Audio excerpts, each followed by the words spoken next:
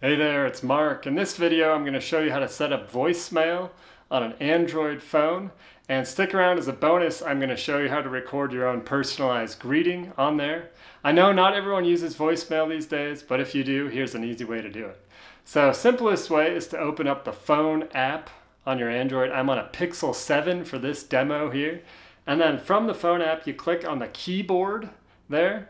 And the easiest way is you just hold the number one down. So you can see there's also a voicemail icon right by it. You just hold down number one and that dials your voicemail.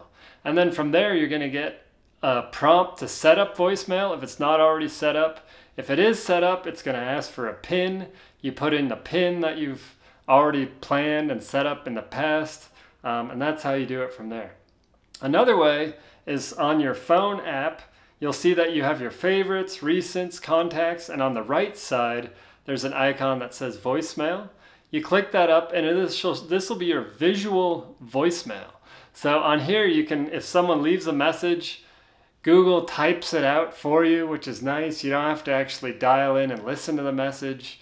Um, prompts will come up if someone leaves a message. You can just click on it. It's built right in in a Pixel 7. So that's the visual voicemail. Um, so if you're on here and you want to leave a personalized greeting, you click on the three dots on the top right, you go into settings on your phone, and then on here you'll, you'll scroll down and you'll see voicemail.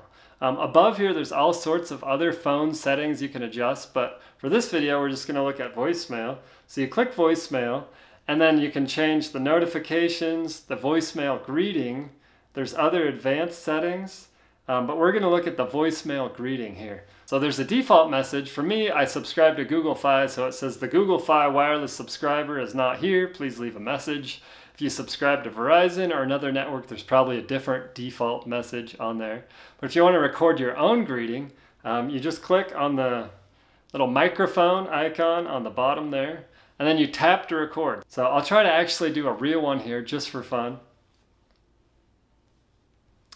Hey, it's Mark. Thanks for calling. Leave your message and I'll call you back as soon as I can. Thanks. I guess it's fine. It's pretty generic. I'd rather have like a catchy jingle, but I'm not that creative at this particular moment to write a song.